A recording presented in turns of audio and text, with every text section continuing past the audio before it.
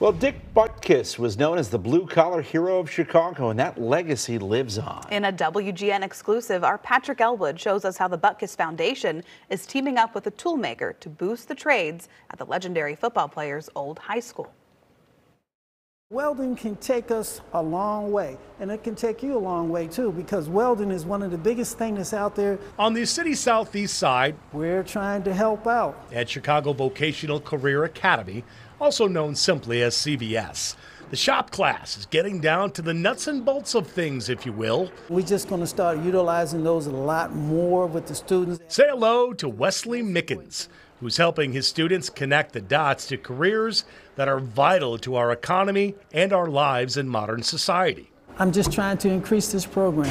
That's, trying to make a difference. Yeah, trying to make a difference. Mr. Mickens, as the students call him, caters to the kids who aren't going to go to that traditional four year college. While many schools have gone away from shop classes, here at Chicago Vocational, it's expanding. These what we will be hanging up. Cultivating careers in the trade says this 18 year vet should begin at the high school level. We got to get it back into the school because that's where it all starts from. Thanks to the generosity of others, the metals program here is now part of the curriculum. So we got all the welding equipment that we need. Enter the Dick Butkus Foundation. Oh, I was born and raised here and it's good. I see my buddies out on the far south side. The Chicago Bears and NFL legend who passed away only several months ago. But before that happened, he and his son Matt, who still speaks of his father in the present tense. The name Mike Butkus, it's believe it or not, it's you know blue collar. You know, it's my dad's the youngest of nine. His dad worked for Pullman, was an electrician.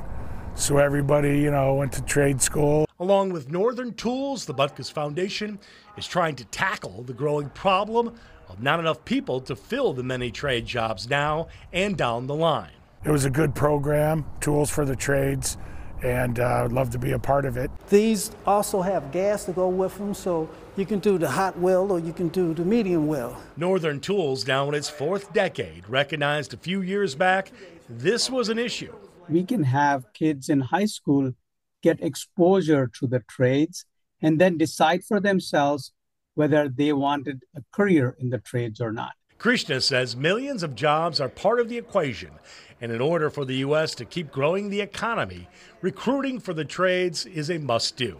Whether you're building roads, you're building buildings or factories, um, you know, you're welding, you're doing all those kinds of crafts, you're working with your hands. That's what built this country. That's what built this nation. Those helmets, what they do, they start out light and then they go dark. Which naturally brings us back to Mr. Mickens and his desire to do his part in that effort. He's quite confident that with the addition of the tools to now teach metals, it's another option for today's youth to prosper in the years ahead. Once they graduate, they narrow it down and they say, well, you know what, this is what I needed to do. I thank you for that. And that's, and that's where I'm at right now. That's the gift of life. Yes. Dick Butkus graduated Chicago Vocational in 1962. Through his foundation, Matt and his family promised to keep promoting the values that he so believed in. This gift to the school from Northern Tool in his name symbolizes, they say, everything he believed in. Work hard, get up when you get knocked down, and be kind outside of the game of football, of course.